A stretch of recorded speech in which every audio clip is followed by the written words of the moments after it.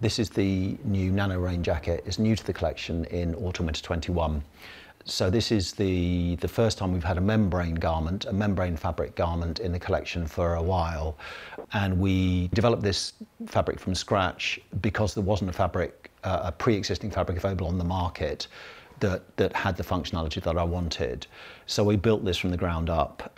So there's two measurements of breathability and both of these measurements are, are somewhat related. There's a RET rating, and the RET rating is the amount of vapor pressure you need to build up internally for a membrane to start breathing. If you have a high RET rating, you have to build up a lot of vapor pressure inside a garment, which is essentially hot, damp, internal climatic conditions within the garment before it starts to breathe. So from a functional point of view, it's uncomfortable, it feels sticky and clingy. Uh, and then the second measurement is the, the sort of more widely talked about grams per 24 hours per meter squared, which is the degree of how much uh, water vapor you're getting through the garment. Now, you can have a high grams per 24 hours per meter squared, i.e. you're getting a lot of water vapor through the garment. But if you have to have a high vapor pressure to get that breathability, then again, from a functional point of view, that's not a comfortable membrane. So we really focused on getting the lowest possible RET rating for this garment. And it has one of the lowest RET ratings on the market. Um, I found the membrane originally from a Czech manufacturer, uh, and they have a nanotech membrane, and that means the holes in the garments are at the nano level. Um, there's obviously billions of them in each membrane, but they're very, very small. So what that means is because you have this huge number of holes, huge number of tiny pores in the garment, you don't need to build up a vapor pressure to get the, the membrane to work quickly. Um, and then the second component of the fabric is the DWR. So, so the, the second bit of sort of functional um, information about a membrane garment is you can have a very effective membrane, you can have a very breathable membrane, but if that membrane wets out on the outside because the DWR has failed, from a functional point of view, it'll feel like the waterproofing on the membrane has failed because you're getting wet inside from sweat. Um, so a wetted out membrane, the, the breathability will drop right off or, or stop altogether. So you have to have uh, extremely good DWR with an extremely good membrane to get functional high breathability and functional high waterproofness. Now, Gore have gone down the route of an external membrane that reduces the DWR issue, but then the issue, the, the sort of secondary issue from that is a durability problem. If the membrane is on the outside of the garment, it's a, it's a thin plastic coating.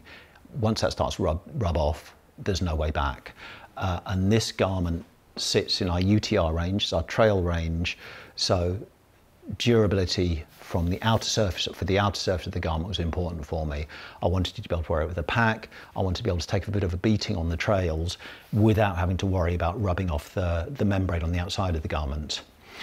Um, so to go back to the external face of the fabric, so we've got this, this nanomembrane, uh, very, very low RET, very, very good functional breathability.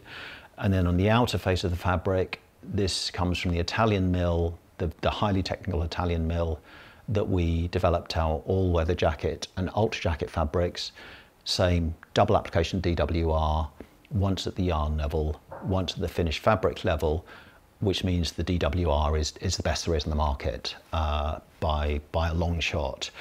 So that keeps the membrane working really well, that keeps the functional waterproofing high, it keeps the functional breathability very, very good uh, and also gives you the durability of having an external face fabric as opposed to an exposed membrane. Um, the cut of the garment, so it has this very tailored cut to the sleeves. So the sleeves have a lot of shaping in them. They're banana shaped. So when you're when you have your arms up in the running position, that gives you a very, very comfortable sleeve. Um, it has a gusseted construction of the underarm, so this is gusseted under here, which again gives you a high degree of mo mobility um, if you're moving around, um, and a four panel construction on the body just to wrap, to shape around the body nicely. Um, there's an elastic draw cord at the waist, so that allows you to, to increase or decrease a little bit of ventilation if you want. You can open the drawer cord if you want a bit more ventilation, close it if you want to, if, it's, if you've got chill conditions. A large pocket at the back which can hold a phone or gels or you know whatever you need to take. And then the next feature of it is it's the first garment we've done with a hood.